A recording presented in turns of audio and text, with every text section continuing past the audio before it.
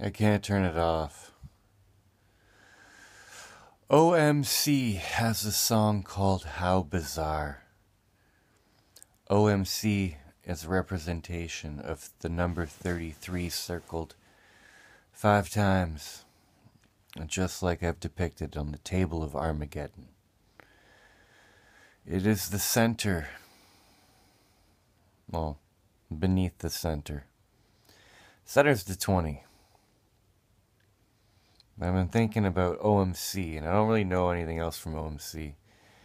Then I thought about the concept of a one hit wonder.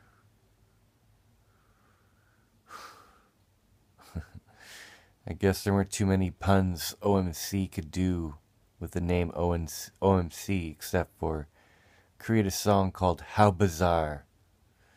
Cause every time I look around, it's in my face.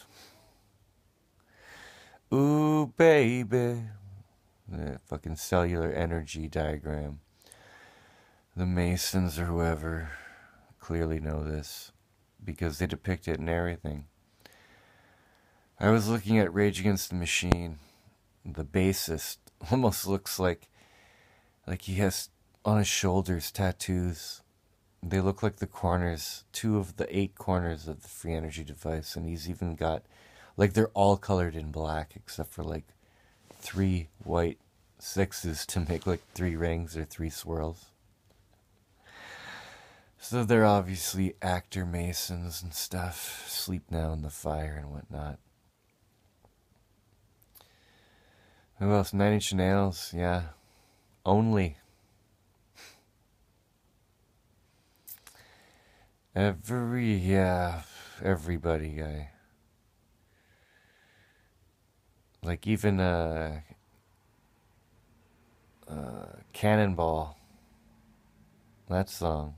Although I, I liked so many songs, and each song had representation of the fact that they know the people, all the anchor, all the news anchors, all the MuchMusic VJs, all the bands. If they're on a label, they're governed who are they governed by? They know about the story of creation. They know about the creation of energy. They know.